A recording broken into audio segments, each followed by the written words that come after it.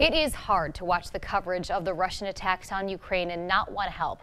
Today, the La Crosse community is stepping up.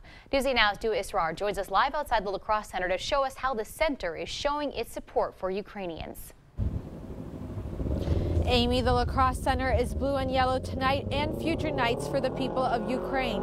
This is just one of the ways that people can show solidarity for the country. As the Russia Ukraine war continues, some people are looking to show their support.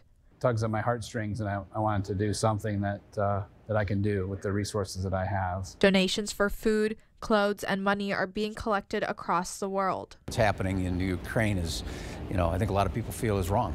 But the Wisconsin Department of Agriculture, Trade, and Consumer Protection is warning people they may be taken advantage of. If they're urging you with haste to give money and not giving you time to research, that's a red flag. Before donating, do your research about the organization. Disinformation and misinformation is out there. Make sure you know where your money is going by using resources such as Charity Navigator and Give.org. What the fees are associated with it, the timing of your funding, all the kinds of things that you might want to know. But making donations isn't the only way to show solidarity. We don't have a lot of money right now, but I do have lights. Dana Erickson reached out to the La Crosse Center about lighting the building in shades of blue and yellow. I, it just feels to me like this is the best way that, that I know how to say that uh, I'm thinking of you. Representing the Ukrainian flag.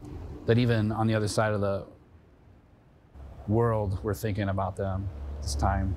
5,000 miles away. That's kind of a unique way to bring it home. La Crosse Center leaders say the attacks happening in Ukraine are unjust and they hope the lights can bring a sense of unity.